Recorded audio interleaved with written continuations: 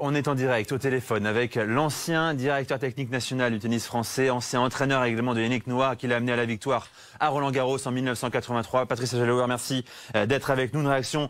Euh, est-ce que vous êtes surpris par cette décision spectaculaire d'Amélie Mauresmo? Non, pas, vraiment. Je suis pas vraiment surpris et, je m'y attendais. Je m'y attendais pour plusieurs raisons. Hein.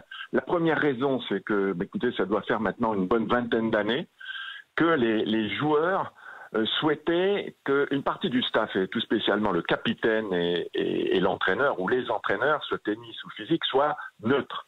C'est-à-dire qu'ils ne fonctionnent pas en, vraiment avec, euh, avec, en privé d'ailleurs euh, avec des joueurs.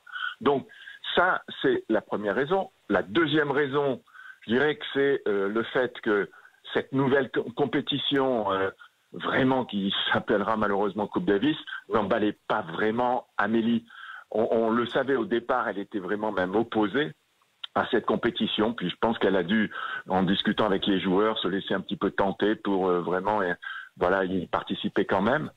Euh, et, je dirais la troisième raison, c'est que le, le job d'entraîner Lucas, c'est un job qui est passionnant.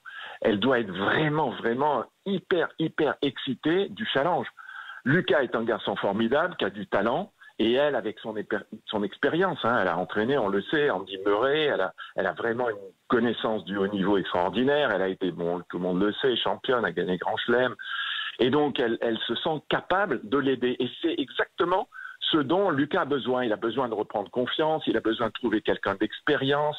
Voilà, c'est voilà, tout, tout cet ensemble de choses fait que eh bien, elle l'a décidé, mais connaissant Amélie, je dirais que la, décision n'a pas été si difficile que ça à prendre.